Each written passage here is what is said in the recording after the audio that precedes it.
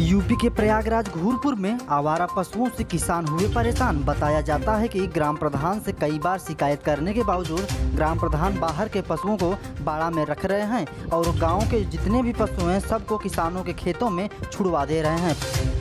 क्या समस्या है आपकी? हमारे खेतों में गो, गाय गोरू सब नाश कर रहे हैं हम लोग। हाँकना चाहते हैं बाड़ा वाड़ा बना ही नहीं है। प्रधान प्रधान बाड़ा बनवाया है तो बाहरी गा, बाहरी गायों गाय गोरुओं बाँध रहे हैं।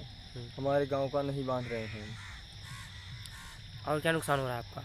धान बोए हैं धान सब चर ले रहे हैं उर्दी तिली है सब अगर हाँकते हैं तो गाँव वाले कहते हैं कि गाली गुप्ता भी देते हैं कि हमारे खेत में मत हाँको वो कहता है हमारे तरफ़ मत हाँको।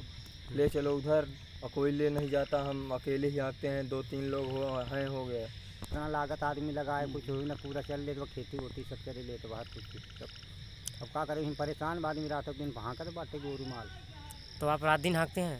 सब हाँकते हैं भाई ये अच्छा। कितने बीघे कितने बीघे धान चल लिए हैं इस जानवर ने? अरे बहुत तीन चार बीघा दसन बीघा चल रहे हैं आदमी हमारे घर ना ही बहुत आदमी चल रहे हैं। अच्छा अच्छा तो देखा था ठीक बा रात चल ले थे पूरे जाके घुस के। तो कितने दिन से हाँक रहे हैं आप? अरे आज ये तो अपन से हाँ करते हैं। हैं। अच्छा तो यहाँ पे बाड़ा वाड़ा नहीं बना है क्या? बाड़ा तो बना है पर दूसरे गाँव का ले रहे हैं।